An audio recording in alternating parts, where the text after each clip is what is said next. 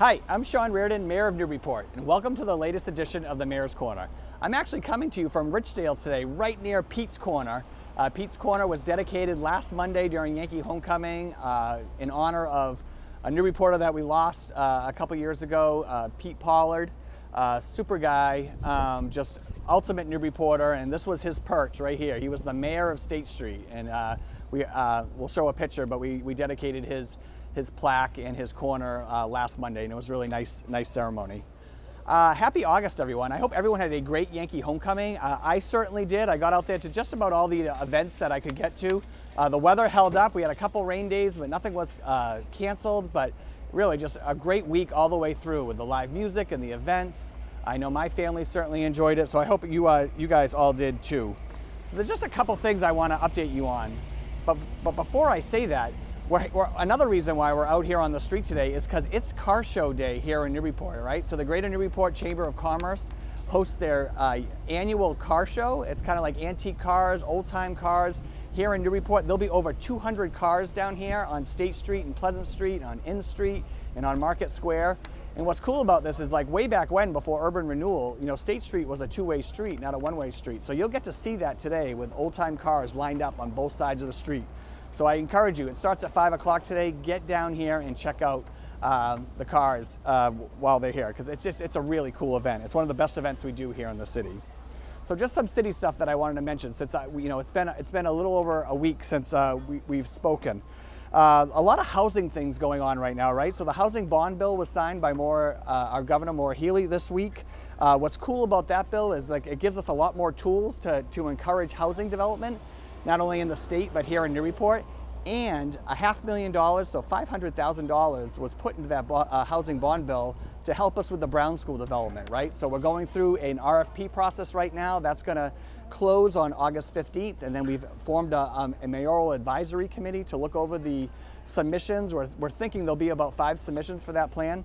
But this half million dollars will give us uh, some flexibility to work with that developer uh, to get a deal done there for some senior affordable housing there at Brown School.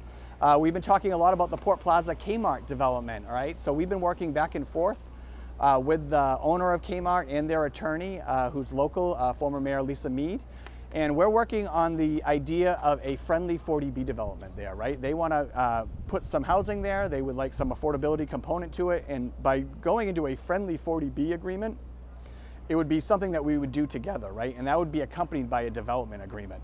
So we're starting to work on that now. We're going to put together a draft development agreement. We're working on that right now, our city solicitor.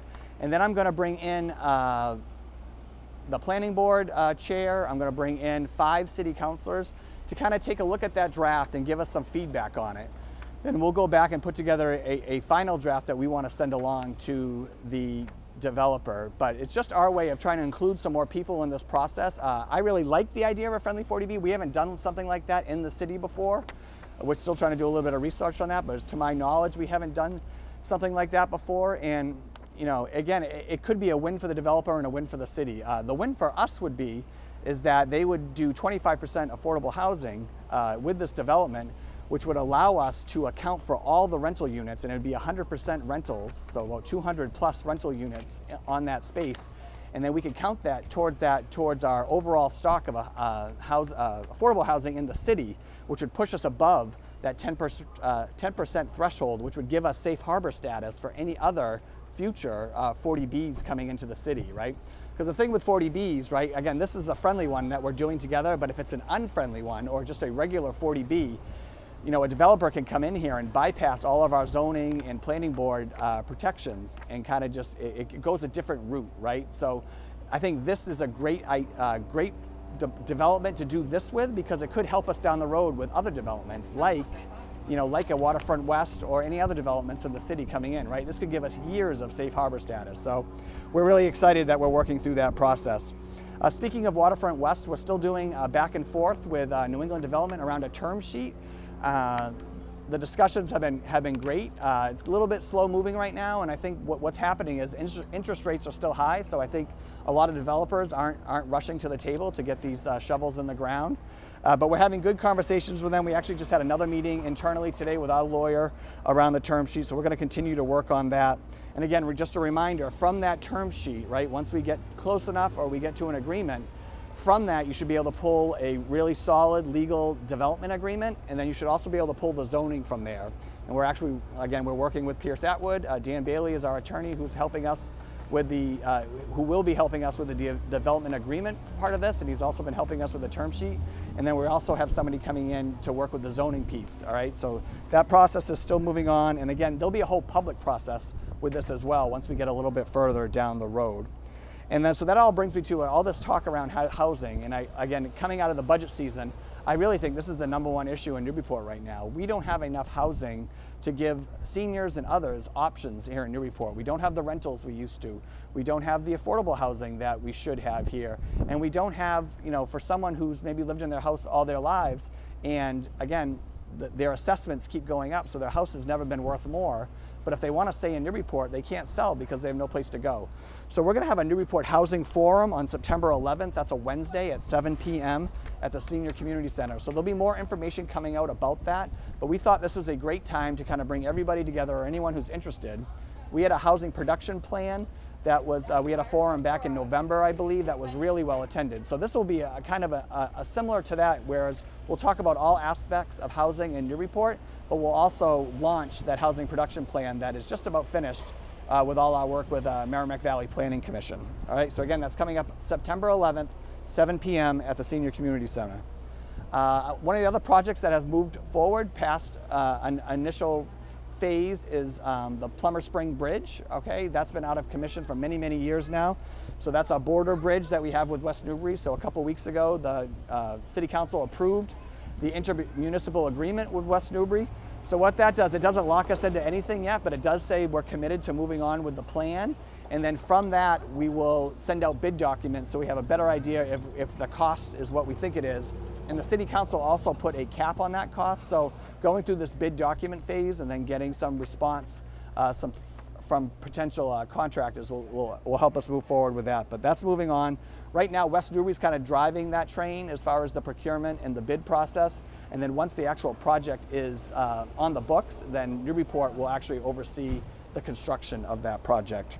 Uh, something that's been in the paper a lot lately is about security cameras. Uh, so I just want, I'm just waving to people out here, right? So uh, the security cameras thing, so it's interesting. So um, um, last year, you know, we had some kind of tense meetings and some tough interactions with the community in City Hall.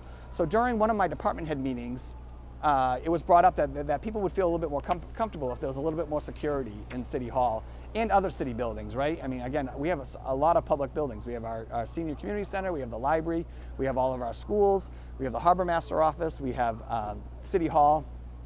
So what can we do to make that a little bit more secure?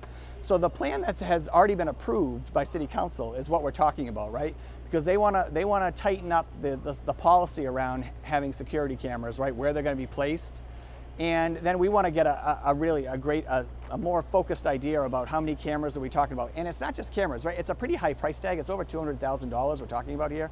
The, the, the schools just went through this process and we're working with the same company and their project was, was over $500,000. So right, th these are expensive, but it's not just about the cameras, it's about the security members uh, me uh, measures to keep the, the building secure, right? And we're talking about like our key cards to get in, uh, any kind of access points into our building. So that's the bulk of the cost. The cameras themselves, of course, aren't that expensive. So it's more than just the cameras, but we seem to be talking about the cameras quite a bit.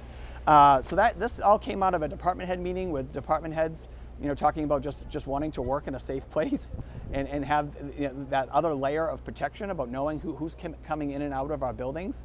And then it also came from the city council because there was a couple of really tense city council meetings last year. And then, and then city council president Shand had talked about, you know, what else can we do to up the security in City Hall. So that's kind of where all this came from. Uh, so we actually just sent out an email this week and we've got some good feedback about where actually we're gonna do the cameras. And most of them are are just uh, going to be on not actually in offices, but more in hallways and doorways and things like that. So that's moving forward, uh, and the City Council will take up actually the placement of those and what's that policy look like.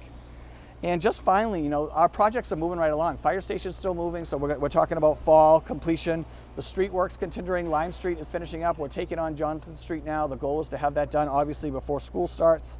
And then Lower Atkinson, if you haven't driven by the Pioneer League just lately, drive by. The old playground's gone. The trees are gone there. We're going to plant a, a, a, ton of trees down there. We're going to have a brand new safe parking uh, structure uh, configuration there, so that's going to start this week. And again, again, a lot of things going on that are really, really great in Newburyport. We're really lucky. We had a wonderful Yankee homecoming. Thank you again for all the volunteers, 100% volunteer organization. Thank you volunteers for making Yankee homecoming so special and really highlighting all the great things going on in the city. And if you can, get downtown today, see the car show, over 200 old cards here in Newburyport. It's like uh, going, turning back the clock to yesteryear. And I will see you all next time on the Mayor's Corner.